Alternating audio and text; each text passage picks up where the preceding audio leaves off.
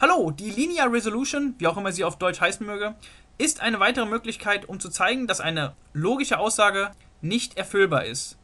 Und dadurch, dass sie dann nicht erfüllbar ist, können wir zeigen, dass eine andere logische Aussage erfüllbar ist, indem wir die Umkehrschlusslogik benutzen. So, aber das ist jetzt unwichtig. Wir überlegen uns, was ist die Linear Resolution. Hier auch nochmal auf Japanisch. So, das soll uns nicht weiter stören. So, wir haben jetzt hier mehrere Klauseln. Die sind natürlich alle mit und verbunden. So, und, und, und. Und wir wollen uns überlegen, okay, ähm, also wir wissen ja hoffentlich auch, dass wir können diese zwei zusammenfassen zu einem B, weil sich das nicht A und das A weghebt. Dazu später mehr. So, die Frage ist jetzt aber, wo fangen wir an und wie machen wir weiter? Wenn wir jetzt 4 haben, dann ist das nicht so wichtig, aber wenn wir 100 haben, dann wird es schon wichtiger auszuwählen, wo fangen wir denn an. Und die Linear Resolution, die sagt uns, wir fangen einfach irgendwo an, zum Beispiel beim ersten, und sagen, hier, guck mal, hier kommt ein B raus, so wie eben schon.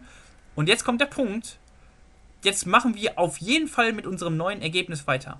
Das ist das, was die Linear Resolution sagt. Das Ergebnis, was du als letztes hergeleitet hast, benutzt du als nächstes. Das heißt, du machst dann hier weiter und hier holst du dann ein, zum Beispiel nicht C raus.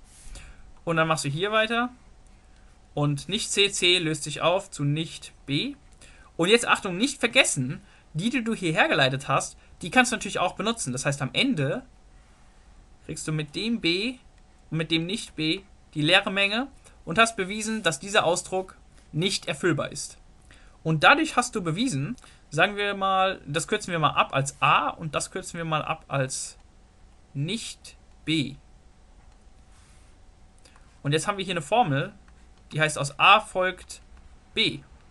Und das hier haben wir bewiesen, dadurch, dass wir bewiesen haben, dass das hier nicht erfüllbar ist. Dahinter steckt die Logik des Umkehrschlusses. Das Denken überlasse ich euch. Ihr wisst auf jeden Fall jetzt, was die Linear Resolution ist. Vielen Dank fürs Schauen.